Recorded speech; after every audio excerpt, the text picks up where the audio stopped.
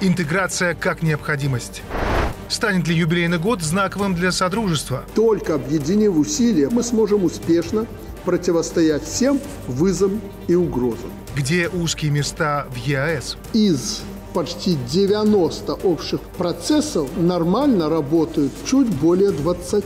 И какую стратегию предлагает Минск евразийской пятерке? Нам следует опережающими темпами выходить на использование национальных валют.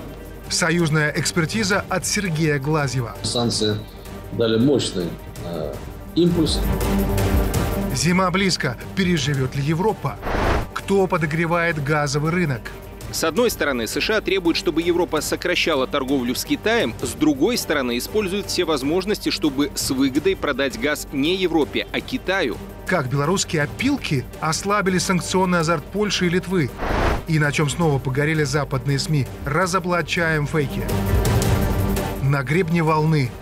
В чем совпадают антиковидные подходы Беларуси и ВОЗ? Надо вместе преодолевать эту болезнь. Здоровье должно быть выше политики. А также наши следующие шаги. Сейчас у нас какая стратегия? Стратегически мы направление свои не меняем. О пандемии, новой конституции и чем ответим на санкции. Большое интервью с Натальей Качановой. Контуры в воскресенье в 20.00 на ОНТ.